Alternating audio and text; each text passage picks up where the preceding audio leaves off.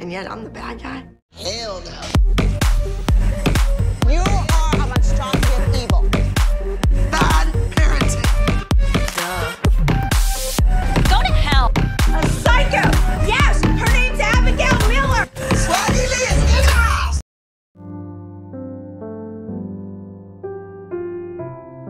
And yet I'm the Grinch. Hell no.